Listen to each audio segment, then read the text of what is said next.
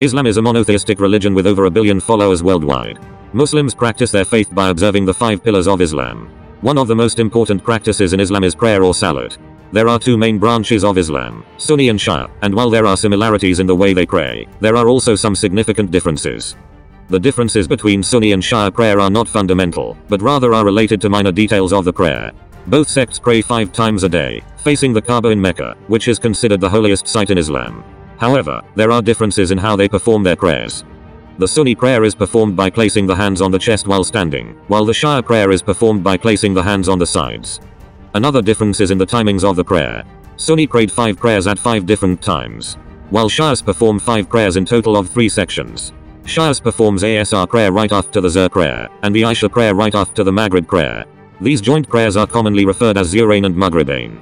Also, Shia Muslims use a plank of wood or a hard tablet made of clay from Karbala to rest their heads during prostration whereas Sunni Muslims touch their heads directly to the floor. Another noticeable difference between the two sects is the way they perform the azan, the Islamic call to prayer.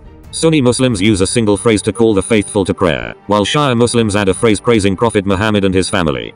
For example Shia Muslims add the phrase Ashhadu anna aliyan wali Allah, which means I bear witness that Ali is the vicegerent of God.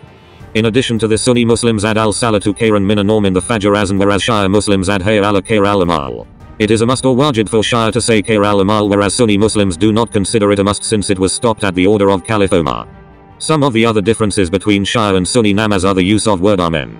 Amen is a Hebrew word and Shia scholars do not consider it wajib whereas Sunni Muslims say amen after Surah Fatiha during namaz.